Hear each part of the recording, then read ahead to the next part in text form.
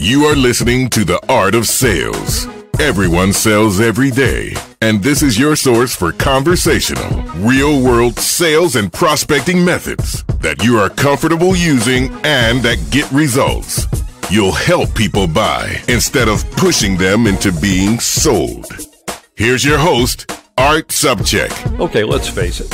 Sales in general has a negative perception by most people, primarily because people have experienced negative sales situations where someone tried to sell them something they didn't want and they did it in a distasteful or sometimes unethical way.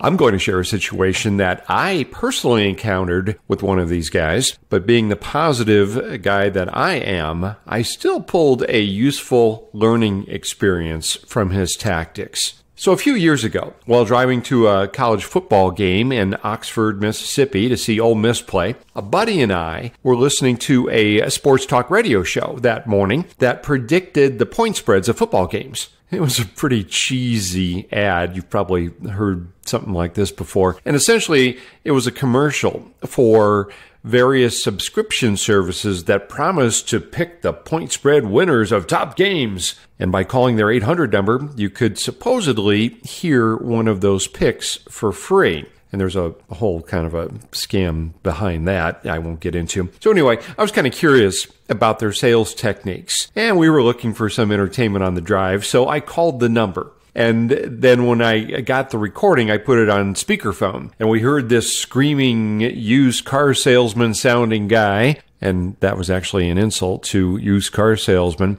And this guy was pitching his service and well, we got a good laugh out of it. Okay. So the next day, my cell phone rings and I'm looking at the caller ID and it says unidentified 800 number. I answer and I immediately recognize the voice from the commercial uh, from the recording from the betting service. And now this voice jumps into another animated, almost yelling sales pitch. Now I'm not sure if this was a recording or not, but then I was kind of suspect because after about two minutes of it, it sounded like a person and he goes for a close. So I was just silent. And then the voice said, So what credit card do you want to put that on, buddy? And I said, I don't. Then he, or the recording, pretty much ignored my response and then it continued pitching the service. Then he closed again. So let's start making you money, my friend. Which credit card? So I continued telling him no, and he continued pitching and trying to close. So now I'm thinking, well, if it's a recording, it's pretty, doing a pretty good job here. So to test him, I threw out a nonsense response. I said, how about if I put it on my Costco card? And then without missing a beat, he replied, I know that some people can see humor in losing, but we take winning seriously, and that's why we'll give you the point spread winners. And finally, he just wore me down to the point and uh, where I just hung up. I, I mean, we were, I was just shaking my head thinking, this stuff still goes on? Now, then I thought this was the end of things, but I was wrong. So another call comes in on Monday, same approach. And I told the voice or recording to take me off of his list. And then he continued pitching as if I had said nothing. So then I finally just hung up. And then, you got it, he called again the next day. Same thing. Now, I still couldn't tell if it was a recording and a voice recognition program that was trained to give responses to, to certain replied certain replies. And and I was so annoyed that I, I actually got out of character a little bit. I started using some rather colorful language to describe him and his lineage and maybe something to do with his, his mother.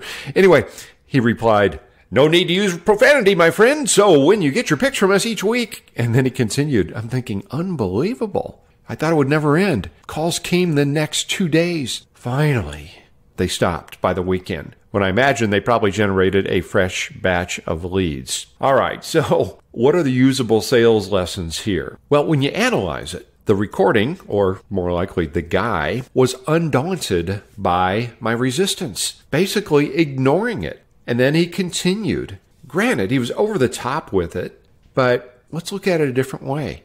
Too often, professional salespeople are too quick to give up when faced with even the slightest bit of resistance. Now, instead, how about this? In many cases, we can reply not like this guy did, but with something like, Yeah, I understand. Or, Yeah, that's okay. And then we can continue questioning. I travel at least a couple times a year down to Cabo San Lucas, Mexico, one of my favorite places in the world. And pretty much everyone down there is a salesperson. And they do these same things. I love interacting with the beach vendors. They hear no hundreds of times per day. They're unfazed by it. They act as if they're hearing impaired when you give them a no. And they can't be sensitive to the no's if they want to eat.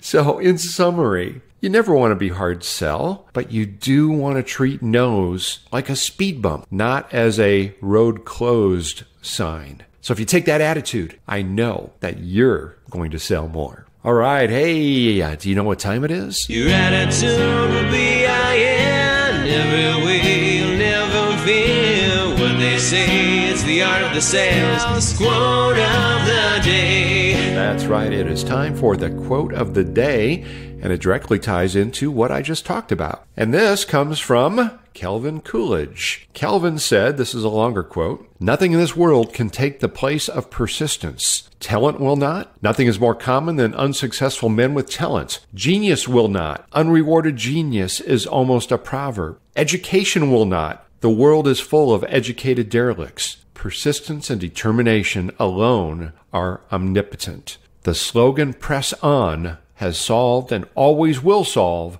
the problems of the human race. Wow, that's pretty powerful. I would suggest you go back, rewind, and listen to that, or find a printout of that. Put it up on your wall. Okay, hey, would you do a favor for a couple colleagues of yours who would benefit from this show? Send them to our show site, theartofsales.com, theartofsales.com. And if you would like many, many more tips, go over to our blog, which is smartcalling.com, smartcalling.com. And if you're not already signed up to subscribe to this show so you're notified of new episodes automatically, be sure that you do so through either iTunes, Google Play, or whatever podcast service that you use. Thank you so much for investing your busy time with me and valuable time. Until next time, go out and make it your best sales day ever. I'm Art Sobczak.